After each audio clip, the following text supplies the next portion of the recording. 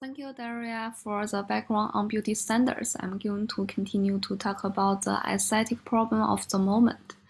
Women under more, uh, nowadays, people are under more or less pressure to beauty standards, but why are women under more pressures? It seems that these female stars have to have a pretty face and perfect body, because the public loves them for these reasons. In the current social situation, women want to attract others' attention so they change themselves in different ways.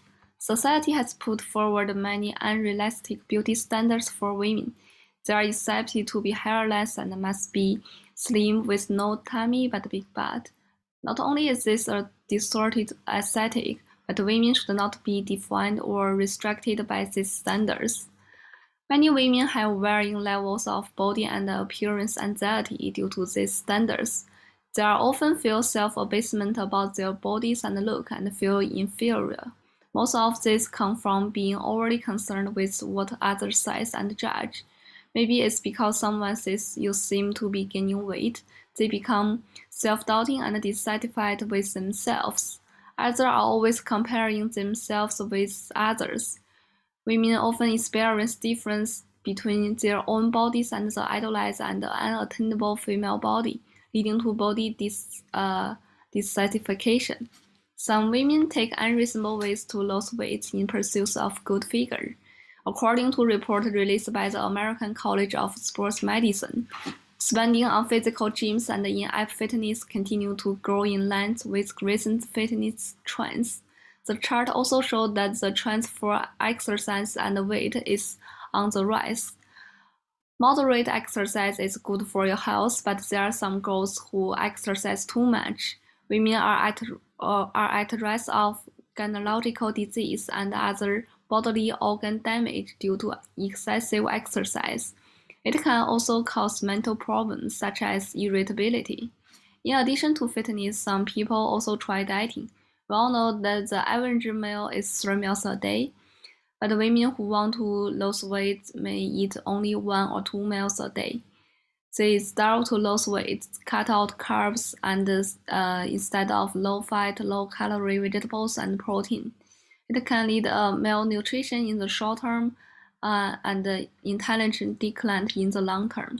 It is clear that women have been affected by the definition imposed on them both physically and mentally. Because I live in China, Girls have been looking for skinny beauty for a long time.